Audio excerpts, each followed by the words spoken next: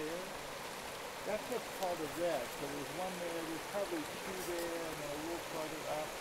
And each of those places is where a male has cleared an area and tried to attract the female to come in and lay eggs, and then the female just like bury those. And then they um, they end up laying the eggs sort of right, the eggs settle down into the ground and then cover them up. And the reason they want to clear it off of all the sediment, but also of any algae that's there, is lot of oxygen in order to develop and grow. So the um, the eggs that are laid right now will have some people. So they're in that gravel for all that time. There's a this trout and salmon seem to break up. There's a little bit of spawning activity up there. Um, actually, it's quite more fighting activity. So that one male has kind of got that area that he and cleared that off and is trying to take everybody else away. Except females. So they'll spawn on top of each other. The females tend to be a little bit, we'll a little click them in a minute and you can see the, the um, differences in body shape. And your handouts, if you have those, the first picture is a male and it has that, what they call a hook jaw. And so they also have sort of a hump back, they're sort of humpy sometimes. Um, the second picture is a female, and you can see the difference this one here, and you can see them. The females tend to come up for um, a little bit less of, of time, but they'll sit on their on their redds until they kind of exhausted all their energy and then they die. So even though there's no reason for these fish to die, they're still genetically programmed so that after they spawn, they're going to die. Um, they still think they're in like a Pacific, in, you know, in the Pacific, and all the genetics is, you know, has selected for individuals that spend all their energy trying to protect their offspring that are in the gravel now and just completely exhaust themselves and die, rather than try to make the journey all the way back out to the ocean, grow for another couple of years, and come back and lay some more eggs. The, the, the benefits of that were so slim that those kind of genes fell out of the population, and what you were left with in the sockeye salmon groups, or the yeah the sockeye salmon groups was just animals that will basically kill themselves in the spawning and protecting the eggs. This is the first part of the run, so the run's been going about 10 days. Um, so, you know, there's not very many dead fish, and they don't even look too bad yet. You can kind of see that variations with the different salmon. Like steelhead, have people looked at steelhead? Or fish for steelhead? Like, steelhead fishing? Those are, steelhead and rainbow are the same species. But steelhead will come back, so they tend not to be in the upper reaches of watersheds. So for them it was okay to do a rainbow life history and um, spawn once and then go back to the ocean, so they don't all die.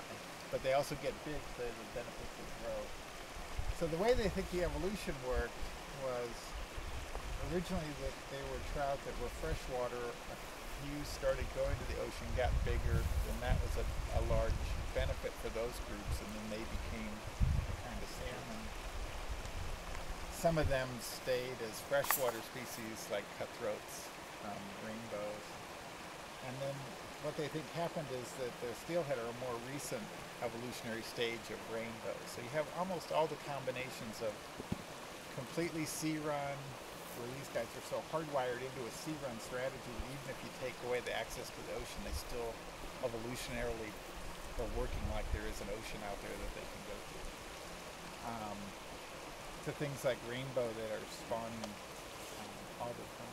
All these fish are kind of evolved from a group of fish that were in the Pacific Northwest, so rainbows are endemic to Northern California and um, various other with these fish, it's not quite so apparent because the run sizes aren't super big, although 5,000 of these fish coming up here. You could imagine that this is one of the few kinds of things where nutrients move upstream in a, in a watershed. Normally everything moves downstream with the water, but these fish are moving back. So the chapter of the section we read out of um, the um, diary of um, the name's something. View from Lazy Point. View from Lazy Point. Kind of just is- talks a little bit about that uniqueness of animals bringing nutrients from the ocean. When we have redfish lake, we're actually able to measure the ocean um, nitrogen in the trees, and so you can take uh, leaves of a tree, grind it up, and measure the kind of nitrogen, and that nitrogen ends up being um, enriched in N15, and it turns out that in Redfish Lake, about 15% of the nitrogen comes back from the ocean. It's in redfish. Um, you can't really do that here because the nitrogen's the same. Um, which are, you know, it's basically the it's freshwater nitrogen. The fish don't really pick up any. So we'll go grab a couple of nets and try to catch some of these. Um, do people have any questions about the just the general life history and that sort of thing?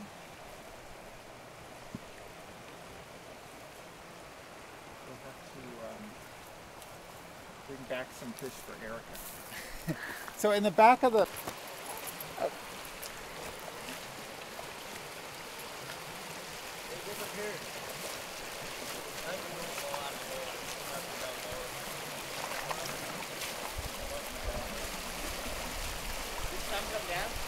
Yeah, I'll be looking out to say now. Ah, okay. We're ready for you. Okay. Yeah. You bring the water bucket down. So is that the female then? When it has yeah. Here's a male. Oh, okay, yeah, yeah. It's a little darker head. More of a humpback. Oh, oh. That wasn't very nice. Slippery little devil. I know. You got some energy too. Oh, wow, look at that red. Jeez.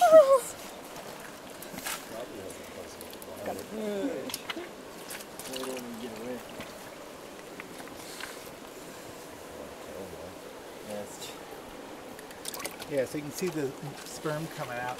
Um, is there a little plastic bag on somewhere? that Tupperware thing? Yeah. Oh, no, that was up there. For us. We'll try to find it. So we have males and females in here, so that's good. That's good. Yeah, so we can try to spawn a couple. These guys here, um, they eat those little tiny copepods. And these are fish that are known for eating very small prey. So they have a structure called a gill raker on that. Ooh. Not get them on the gravel anymore.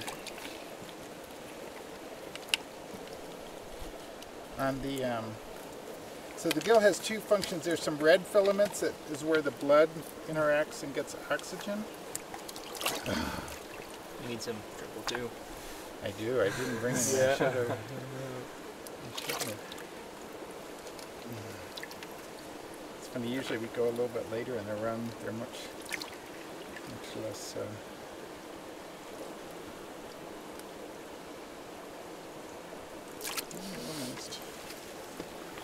Here we can look at them from the other side, maybe.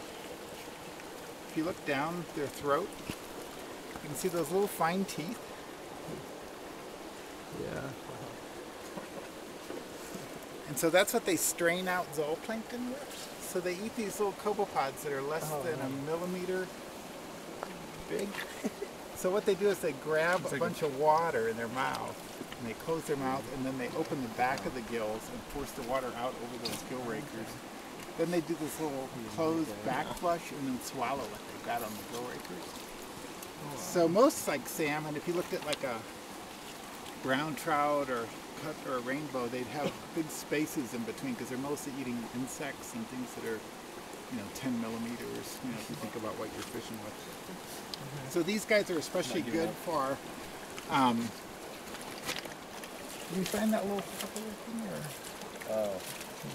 I'll go back and get it. Um, so mostly they they're really good for harvesting those zooplankton resources. So a lot of these reservoirs around here don't grow many insects. The water levels fluctuate so much. Like you saw here, this is pretty high. This is super high for this time of year, the water level. Um, a couple of months ago, it was down another 30 feet or so. So it's really come up since May or whatever. so, and that's usually this time of year. That's what the, they would be. Is um, would be really low. What that does is it means that there's almost no aquatic um, vegetation around the edges because the rooted plants can't ever find a good space because the water's so fluctuating.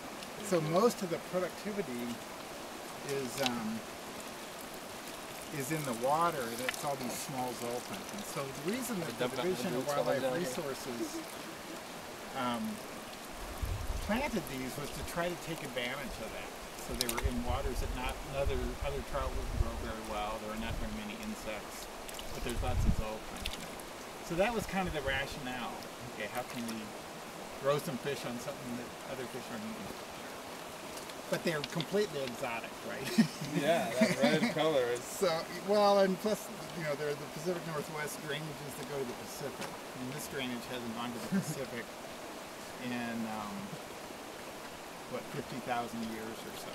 So that was the last time that, like, um, well, about 12,000 years ago, Lake Bonneville spilled into the Snake. So I guess 12,000 years ago, they could have gotten there. Yeah. But 50,000 years ago, the drainages were very different here, and there was a really good connection to the ocean. Um, the Snake River, instead of going into the Columbia, went straight west and into the Klamath River basin, and then out into the ocean that way. So it wasn't even that far compared to now. Um, to do that. So what I want to do is try to. Um, you want to hold that, and I'll we'll try to get some um, eggs out of a female.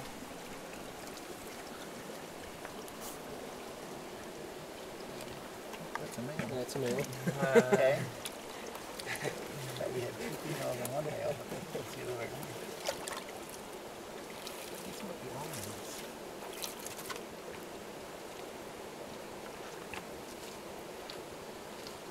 So we need to catch another fish. Not as far as I know. I'll have to tack it up on the rate board up on campus though. So some of them show the male jock characteristics. It's like we have to go catch us a female. I think you have to catch a female. All right. You want to give it a do it. try? Yeah. We'll we'll um, Same's out.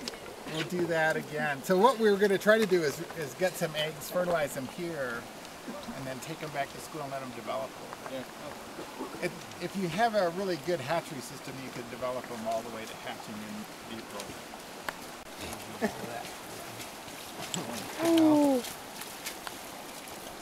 So this is a rainbow. It's another introduced species. Um, got wet on the I think you can sort of see the gill rakers are a little less fine. Kind of more. s- Wow. So a lot of times you can take a, like you could see how those rakers would just really collect something that was mayfly sized or mm-hmm. That will be a dead rainbow. actually they're fish are incredibly hardy. Not maybe. Hi guy. Does anybody want to like let him go and do the Born Free song? Rachel, you want to hold the fish? oh yeah, it's my dream in Does life. somebody want to let him go? Oh, here, I'll do it. I ain't scared. Come here, caught him. Okay.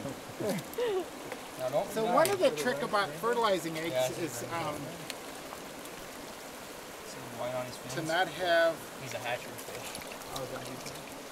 Yeah, they're kind of worn off a little.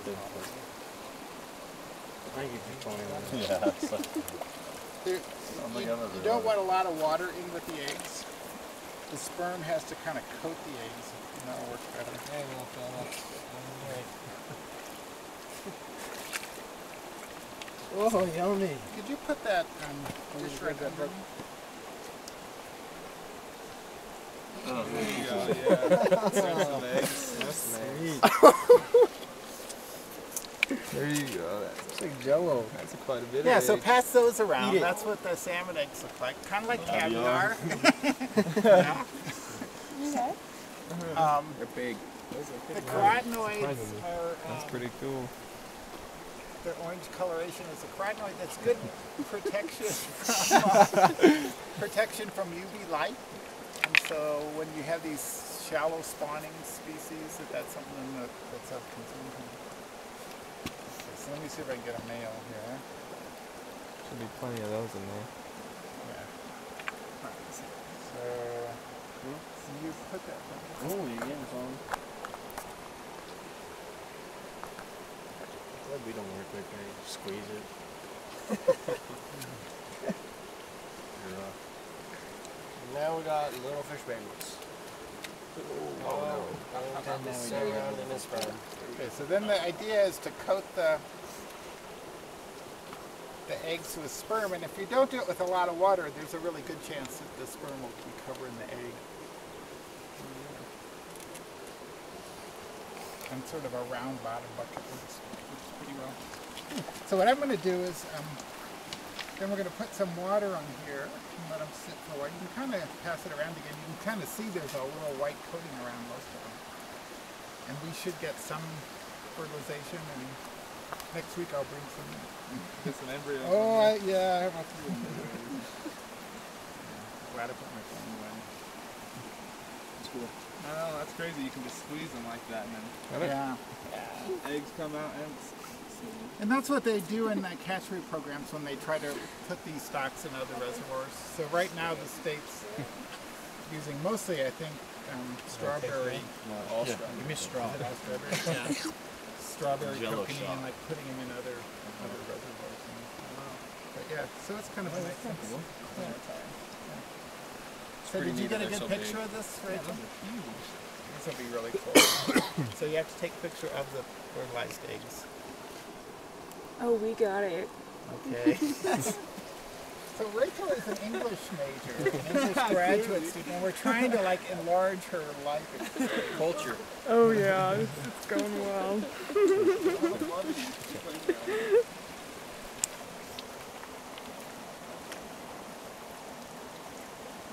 So all we really want is to not have them run out of oxygen while I get them back, and then I'll put a little air stone in them. Um, but we'll, s- we'll a sense. Usually the eggs from the first part of the run tend to be better than if we come later, so that's the good part. So, um, How many of those would you expect to fertilize? All of them? You know, yeah, pro- like 95% would get fertilized, but a lot of them wouldn't develop very well. So usually what happens is they have some stages that they do some checks. So you might get 95% fertilized eggs, and then, especially if you did it in the hatchery. The hatchery would have a system where water would come in and bubble these up. So it'd be sort of like this, these areas here. The fish like to spawn um, in gravels because there's a lot of water that goes through the gravel. And so that's like the perfect situation to have new water running into them. If you've got a lot of fine sediments, that means there's not much flow. It's not a good place to put your eggs. So the fish are choosing locations that are going to have that that um, good kind of flow. So um, why don't people either take a look at those or um, and then release them. I'm gonna go get my camera that will do some underwater stuff and um, see if I can snag some pictures of this fish underwater.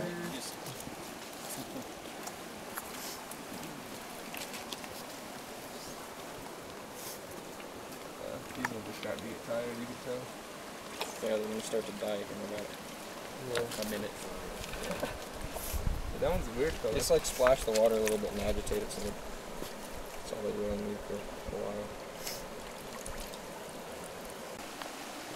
But this year, yeah. So it's um, Dam was spewing out yeah. Well, right now they're actually trying to release a lot in case next winter is like this winter. Um, It's supposed to be running in the background too. Yeah, these things kind of go in a couple year cycles often, so you often get a couple wet years and then a long stretch of dry years seems to be the pattern around here. It's interesting, our climate projections for here are actually far wetter conditions. So northern supposed to get warmer and wetter, more rain, less snow. But southern Utah is supposed to get hotter and drier. And, uh, so it's hard to imagine southern Utah getting drier. So yeah, Cedar City South is like a good break it's going to get bad in the climate I have a professor friend who's a climatologist and he's buying land in the Okanagan Valley to start growing grapes for wineries in 50 years that's going to be the best wine growing region in the country. so he's taking his work seriously. So did you say that? What kind of research is going on with these fish? Is there anything since they have Not really anything going on here. The, the division for a while was keeping track of the whirling disease percentages. They quit doing that, I think, um, in about two years ago. Partly what's happened with the division is they're really stressed with people right now. They, they've lost some positions. They can't go on. They're not doing as much as they used to. Yeah. So they've had to kind of prioritize what, what systems really are working. So they moved most of the company with uh, strawberry. And they have a big fish trap on strawberry so they count how many adults go back. Um, and then they count how many um, anything reds and all So, yeah, um, strawberry is interesting. It's a reservoir that's more productive than porcupine. So the fish get much bigger. So if you're up towards the strawberry um, area, stop in at the place there, and you can see these fish maybe three times the size. They're running right now. They're running right now, yeah. That- and they're running. A, they'll run a little bit longer, and more fish. Um, the, those systems have daphnia instead of copepods, and so the the invertebrate, the zooplankton prey is bigger, so they're like two millimeters instead of one. but it makes a difference, you know, especially over three years. so those fish there will get to be 38, 40, um, centimeters. So not too far off some of the. And the gorge also has a lot. Toward the end of this run, we'll start, if we did the same thing, we would, we would fill it up with sculpins. So there's a mottled sculpin species that lives in here, and they come up the eggs. So they're moving up from downstream up in the And then also suckers will be up there, more whitefish. What kind of suckers? Mountain? Um, mountain suckers. Um, I'm sorry, Utah suckers. Mountain whitefish. No mountain suckers, okay. So, um, so they have, um, also you'll see raccoons, magpies all over the place because of the dead fish. Do they have any browns that are in here? There's not, there is, I haven't really seen many. There probably are some, Yeah. um, but it's not like Just one of them that doesn't have as many as a lot of the water. The browns seem to like bigger waters. so, um, you know, the, the Logan River is a good, good spot for browns. So if you wanted to um, try to fish for these, what would you use as a bait? I mean, you can't. You don't really have anything. Yeah. People um, fish pretty small little jigs is what they're mostly fishing with. Sometimes I've caught these um, on the Twin Gorge Reservoir and what they call wedding ring um, lures. I don't know if you've seen those, but they're also pretty small. And so troll down about 10 meters with those and you get them. Oh wow. Fishing in. So, Yeah, you can't fish them during the spawn period, and they really don't eat. So they're not really biting at stuff except in an aggressive manner. They might strike something that they think is something scary. rat. Yeah. Are But they most- like other fish that eat will eat eggs The during this time? kokanee don't, but everybody else does. Everybody, yeah, all the other trout do. too. I just wanted to see it And that Yeah. rainbow is probably eating and munching eggs like crazy. yeah, that's probably a good. I mean, you can see how juicy those eggs. are. Oh yeah, those are big eggs. Yeah. And again, like that one female had about 200. I'll count them when I get home. But you know, it's not a lot of eggs when you think about fish eggs. You know, sturgeon have thousands of thousands of eggs. That's why we have sturgeon caviar, not kokanee. okay. Anything else, or should we load up the Gracias.